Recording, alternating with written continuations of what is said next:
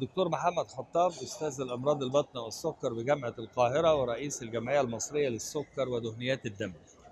الموضوع اللي بكلم حضراتكم عليه هو موضوع الكشف المبكر أو التشخيص المبكر لبعض الأمراض اللي بطبعها بتبقى أمراض صامتة يعني المريض ما بيشكيش من شيء. يعني يتخيل أنه طبيعي بيقول على نفسه إن هو كويس أنا ما بشتكيش من حاجة وبالتالي لا داعي إن أنا أكشف ولا داعي إن أنا أعمل تحليل.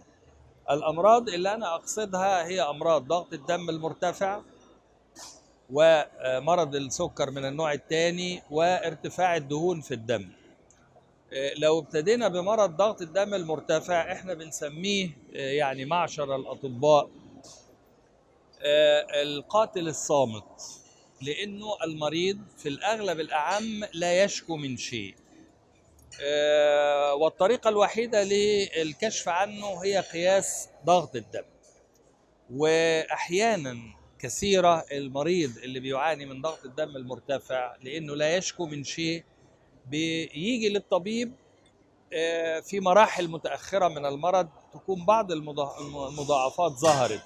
يعني مضاعفات على شبكية العين مضاعفات على القلب مضاعفات على الكليتين مضاعفات على المخ مضاعفات في اتجاهات مختلفة.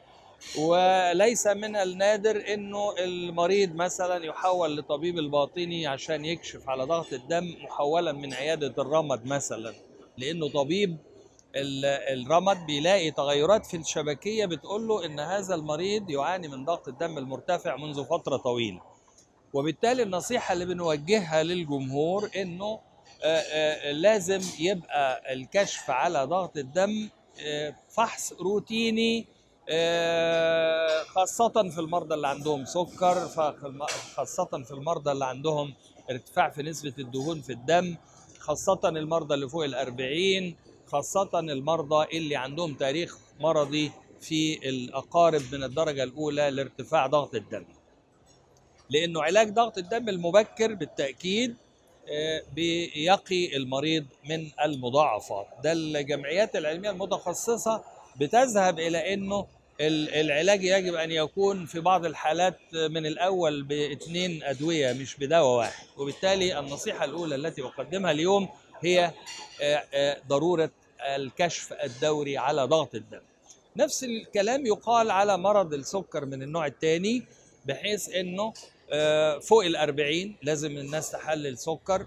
فوق ال ال ال فوق ذلك المريض اللي عنده تاريخ مرضي لمرض السكر في أقارب الدرجة الأولى. الناس اللي عندهم زيادة في الوزن اللي الناس اللي عندهم اختلالات في نسبة الدهون في الدم. السيدة اللي جالها سكر أثناء الحمل السيدة اللي عندها تكيسات مبيضية. ويمكن الحملة القومية حملة 100 مليون صحة يعني أثبتت هذا الكلام الذي أقوله بشكل يقيني لأنه كثير من المرضى ما كانوش يعرفوا إنهم عندهم سكر هم رايحين يحللوا للفيروس سي ضمن الحملة يكتشف إن عندهم سكر. وبالتالي مرض السكر من النوع الثاني برضه من الأمراض اللي ممكن الإنسان يتأخر في تشخيصها لأنه في الغالب ما بيشتكيش من شيء المريض. يعني مسألة العطش والتبول الكثير ونقص الوزن بتوجد بس في أقلية من المرضى. وبالتالي النصيحة التي أوجهها هو دور على السكر بدري وافحص نفسك بتحليل الدم لأنه هو الوسيلة الوحيدة لتشخيص المرض وليس شكوى المريض. الشيء الثالث والمهم اللي أنا بنبه إليه هو اختلالات الدهون في الدم وبالذات الكوليسترول قليل الكثافة. كل ما علي الكوليسترول في الدم بالذات الكوليسترول قليل الكثافة كل ما كان في خطر على الشرايين شرايين المخ وشرايين القلب وشرايين الأطراف بالذات شرايين القلب. الدراسات الحديثة كلها أجمعت أجمعت بما لا يدع مجالا لأي شك إن في علاقة مهمة ما بين ارتفاع الدهون في الدم وما بين الإصابة بالشرايين.